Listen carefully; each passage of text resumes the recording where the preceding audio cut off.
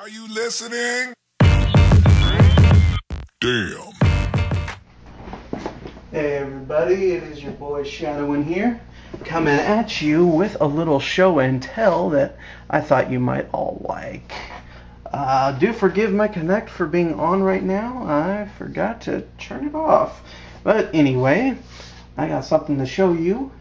My good friend uh, Martin, he uh, he made me a painting, and uh, yeah, I got it yesterday and it is awesome.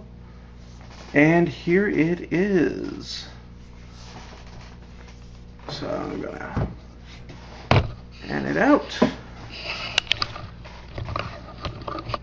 But yeah, it's pretty badass. And it, uh,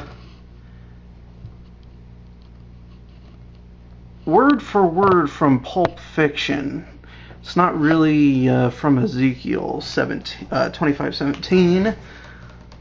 Uh, from what I read on the wiki of that one, it says something else, uh, but pretty much along those lines.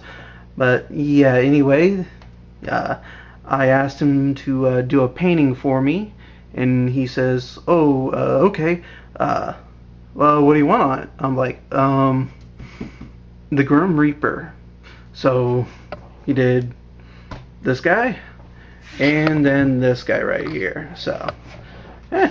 and then he wrote all this down in between them, and I really like this. So yeah, um, I'll go ahead and uh, put a link down below uh, in the description box of his Facebook page.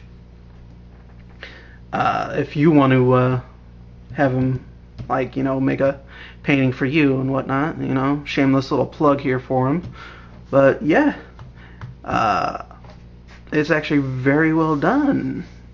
Uh, I think he doesn't use uh, like a paintbrush and whatnot, other than you know for this. he uses spray paint and a stencil. And it's actually very well done, and I love it. And I already have it, uh, have a, like a little spot on my wall for it. So if uh, you know you want something like this, you know, just hit them up. All right, take care.